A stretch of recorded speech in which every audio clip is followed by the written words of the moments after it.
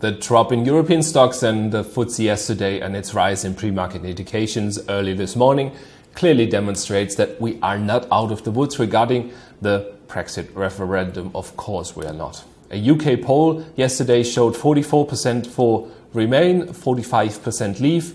Or some overnight show that the Remain camp has gained ground again. Yesterday the cable dropped suddenly, as did stocks. The, this morning the cable is stronger again as are stocks. Besides that, many wonder where the contradiction between the polls and the uh, bookmaker odds are coming from when one looks at the actual dynamics within the bookies an odd divergence emerges. Ladbrokes has received a higher quantity of bets to leave the EU, but those making a punt on Remain were placing higher and financially larger bets. The average stake on a bet Remain on, on Remain was 450 uh, pounds compared to 75 pounds on a bet to leave. That might have in itself changed the probabilities bookmakers offer on their bets, and that might have might have altogether altered how markets as a whole interpret the chances of a final referendum outcome. So, um, when you look at actual positioning in the markets, then you could go to sentiment of CMC markets.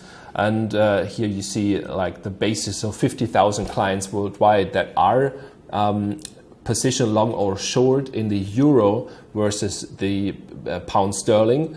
Um, and um, if you look at the sentiment, then you see that 35% are long the euro versus the pound, which means only 35% bet that the pound will devalue which means that only 35% bet that UK will leave the EU. Despite all those reflections, one fact remains clear.